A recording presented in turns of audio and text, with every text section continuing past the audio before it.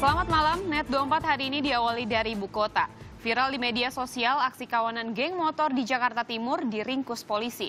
Tujuh pelaku yang berhasil diamankan seluruhnya anak di bawah umur.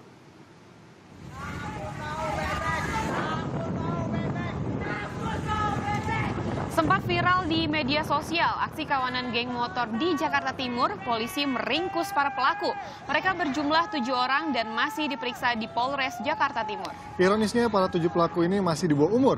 Meski begitu polisi pastikan tetap memproses hukum ke tujuh pelaku. Ya, pelaku ini sengaja konvoy gunakan senjata tajam setelah sebelumnya membuat janji.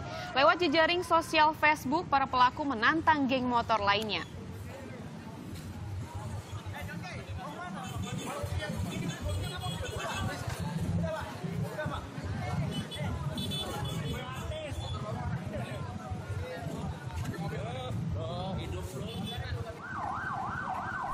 dari uh, medsos yang ada kita telusuri, kita lakukan penyelidikan dan akhirnya kita bisa mengamankan tujuh orang, tujuh orang anak-anak berikut dengan barang bukti yaitu satu buah motor, kemudian satu buah celurit, satu buah samurai dan satu buah gergaji es, seperti itu.